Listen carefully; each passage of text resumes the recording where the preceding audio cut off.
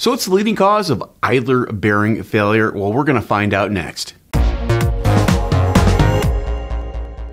This video is sponsored by INA, a Schaeffler brand. Visit repxpert.us for more information. Think about the relationship of offset of wheels on a vehicle. If a vehicle does not have the right offset, well, it can wear out the wheel bearing very, very quickly. The same is true for timing belts and drive belts. If that belt does not properly line up with the idler pulley, well, you could have issues with the loads changing inside the bearing, causing extra heat and inducing a failure a lot sooner. Just like the loads on a wheel bearing, the loads on the bearing inside of an idler pulley, it's critical that the path of the load goes through the bearing in the correct position. In other words, if it's too far out or too far in, you're changing the relationship of the load to the rolling elements inside and also the raceways. When this happens, it can increase wear inside the bearing.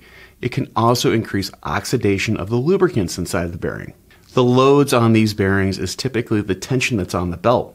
And when the bearing fails, well, the tension on the belt is lost, and this can cause a belt to skip time.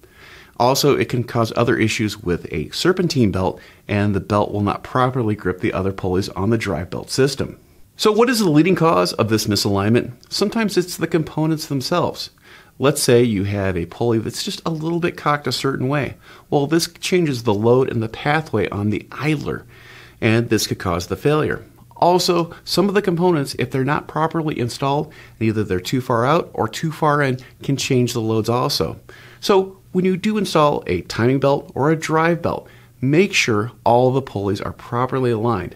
This way, you're going to ensure that bearing inside an idler lasts a very, very long time. I'm Andrew Markel. Thank you very much.